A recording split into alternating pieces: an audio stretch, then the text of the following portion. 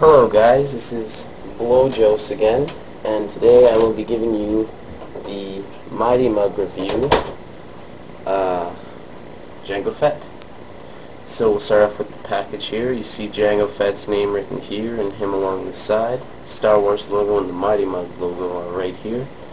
On this corner you see him kinda, uh, I don't know how to say it. it's on both sides there and also in the back there he is. Um, you see Jango Fett here again, and uh, says welcome to the trendy side of the force. You see both his blaster pistols here, and beneath him you see Lando, Leia, and Clone Commander Cody. They're all from Wave 3, and Darth Vader and Boba Fett, who were from Wave 1. See the Star Wars logo again up there. On the bottom of the package you just see a bunch of warnings, the Mighty Mugg and Star Wars logo again. And on the top, you see Jango Fett's face. So we move on to the Mighty Mugg itself.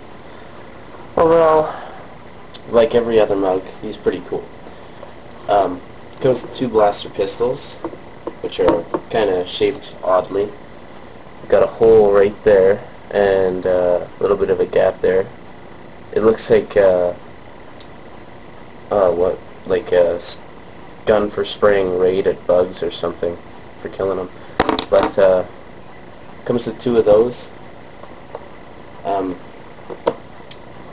he's got jetpack, of course, and lots of silver detail on this one. On the bottom of his foot, you see the Mighty Mugg logo and a hole for possibly a stand or something. But uh, overall, pretty cool Mighty Mugg. Um, the only complaint that I really have with this one is that with mine, like, it, this hand doesn't hold the blaster very well. Just slides in and out really easy. Feels like he's gonna drop the thing, but, uh... And another complaint that I have is, uh, with the Boba Fett Mighty Mugg, there was a Mandalorian logo on his shoulder, but uh, Jango Fett doesn't have one. So, uh, it's a little bit weird, but uh, of course he's got his jetpack here. Uh, pretty cool detail, I'd say. He He's probably one of the more detailed mugs, similar to uh, Grievous, who had lots of detail. But um, I find that the helmet really captures Jango's helmet. It's got the little antenna there on the side. Uh, it's got some some uh, painted on dents there. Looks kind of, oh, whoops, looks kind of cool. Um, I don't know really what to say about this mug. He's pretty decent. Um, I wouldn't recommend getting him unless uh, you like your mugs for their detail or uh, you're a Jango Fett fan.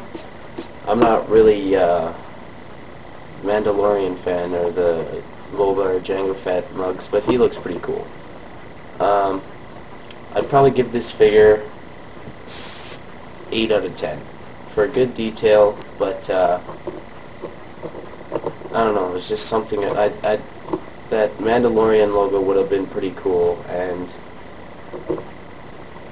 I don't know, it's just not my type of mug, I'd say.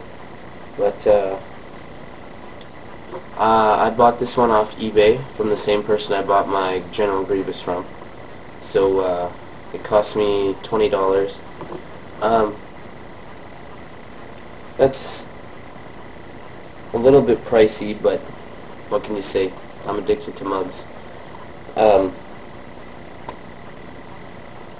not really much to say after that. Uh, I got a Darth Maul mug coming in the mail pretty soon here so I'll be reviewing that soon. And uh, my parents are if they do it they're picking me up Bitil in the city from the uh, Mistika Bionicle line there. So I'll have a review of that up shortly. And uh, yeah. So there you have it. Mighty Muggs Jango Fett